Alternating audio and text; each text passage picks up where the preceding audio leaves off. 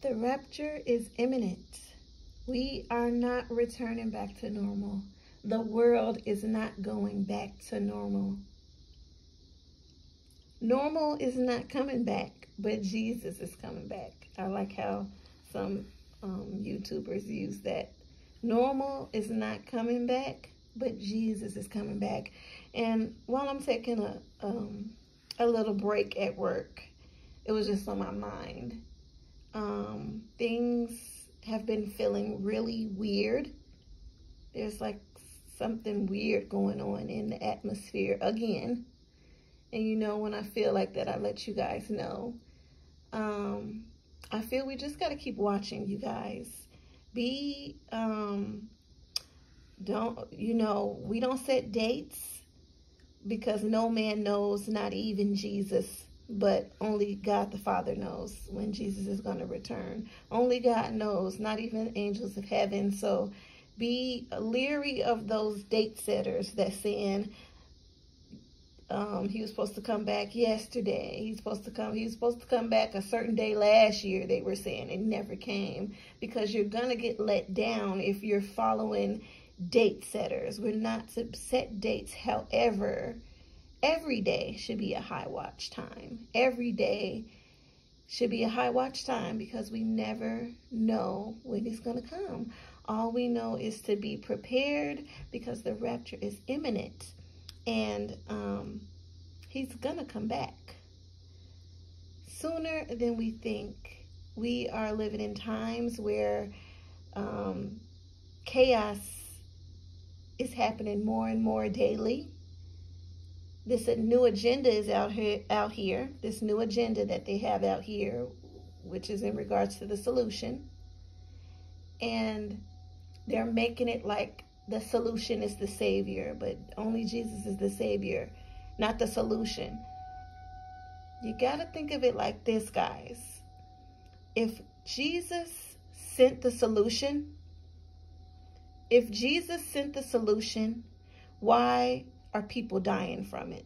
And I can't say the name of, you know, what I'm talking about, but those who, ha who have been following me for a while knows if Jesus sent the solution, why have people died from it? Why have people get terribly sick from it? God would not, Jesus would not send us something that would make us sick. Jesus would not send us, um, send us something um, that would keep us paralyzed. Jesus would never send us anything that would harm us because he loves us. So why would he send the solution as our healer, as our immune system booster, but it's killing people. So we just got to wake up. Many are being brainwashed in these times. And forgive that noise in the background. There is a storm coming, so that tends to go off before the storm. But just wanted to share that with you guys because many are being brainwashed. You have the very elect that are being brainwashed in regards to this new agenda. Um, all I'm saying is let's just keep a watchful eye out on the coming of our King. He promised to go to prepare a place for us and to come back for us. And that's why he calls it a mystery. We shall not all sleep, but shall um, he's going to raise the dead. And after the dead in Christ is raised, us who are alive and remain will be called up to meet Jesus in the air. Rapture is in the imminent. Normal is not coming back, but Jesus is coming back. And I know J.D. Farag used that in one of his messages too. So I wanted to share that as well because I thought it was pretty awesome. But let's keep looking up. Let's keep staying focused. Let's keep praying for each other and praying for our lost loved ones.